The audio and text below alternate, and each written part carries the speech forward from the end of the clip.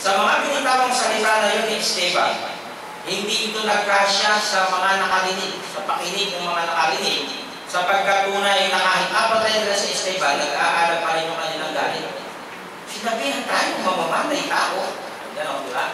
Matindi yung kanyang binitawang salita, kaya napag-initan ngayon yung pag-uusig sa iglesia na itong si Saulo ang pinaka-nangungunang mamamatay tao, mamamasla sa mga nasa sa mga iglesyang lalaki at babae na ipinakikilala sa banal na kasulatan.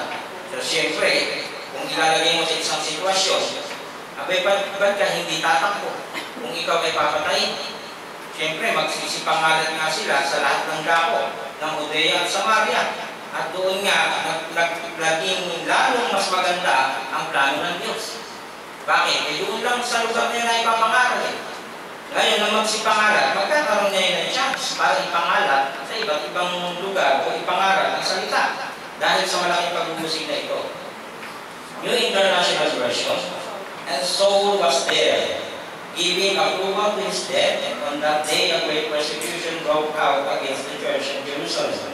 And all except the apostles were scattered throughout Judea and Samaria. It began on that day as the words may As soon as they had put him to death, these bloodthirsty wretches were more greedy after the blood of others, and being now in great numbers, and filled with great fury, fell upon the members of the church wherever they met them, and killed them. For that more, besides Stephen, were put to death, since on Acts 26 and according to some accounts of history, though they cannot depended on, 2,000 persons suffered at this time, and if this was case, it might be called a great persecution. Pero kung Bible pag-usapan, wala namang nakalagay na 2,000 persons. So ito ay estimated lamang base ito sa sinasabing called a great persecution. Sapagkat matindi ito. Isipin mo, ang sinabi nito, sige, lahat ng nagkumikilala kay Jesus, patay na yan. Sa panahon natin ngayon, parang lahat ng adik, patay na yan. Sabi ni Duterte, parang gano'n eh. No? Kaya kung ito ay adik, pagpapapatay ka tayo, takbo. Ano mangyayari? So magsisipangalan ka ito. Kaya lumabas ang ganitong uh, pangyayari na nagkaroon ng malaking pag-ubusig sa iglesia. Acts 26.10 At ginawa ko ito sa Jerusalem at pinulong ko sa mga bilangguan ang marami sa mga banal. Si Pablo na po nagsasalita ito kasi Acts 26.10 na. Ito yung kanyang sinabi. At ginawa ko rin ito sa Jerusalem at kinulong ko sa mga bilangguan ang marami sa mga banal. Pagkatanggap ko ng kapamahalaan sa mga pangulong saserdote at nang sila'y pinapapatay. Di ba na?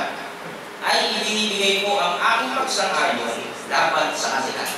So, matindi ang naging uh, tinatawag na nakaraang buhay si, si Apostol Pablo at ito nga yung ipinakikita ng kasulatan.